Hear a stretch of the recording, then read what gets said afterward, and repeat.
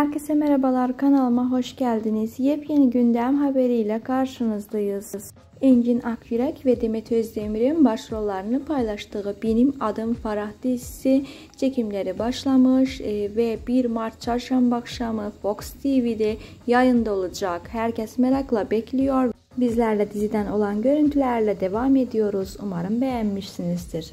Bugünlük bizden bu kadar arkadaşlar. Takipte kalın. Hoşçakalın.